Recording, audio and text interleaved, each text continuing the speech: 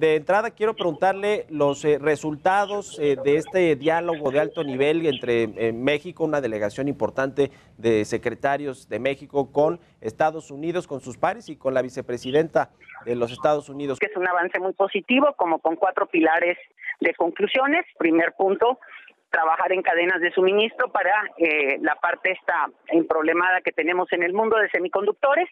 Y por otro lado, tenemos también cadena de suministro para cuestiones de fármacos o artículos médicos.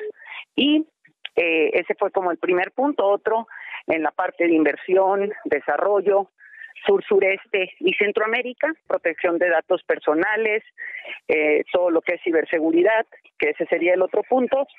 Y el último, que se vuelve a pegar con el primero, es el tema de volver a reconvertir la capacitación en las nuevas habilidades que está demandando el mundo. Eh, ahorita que tener una persona o una planta que diga yo me vengo completo a poner una, no la tenemos como tal, sino componentes que forman parte de la cadena para la elaboración de los de los de los semiconductores.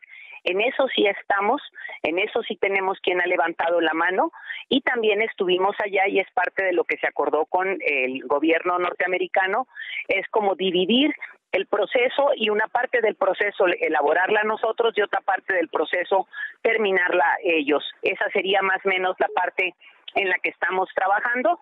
Ya nosotros habíamos realizado varias reuniones más concretas. Es un grupo de gente, o sea, no es una empresa per se sola, son un grupo de eh, gente que trabaja en temas relacionados.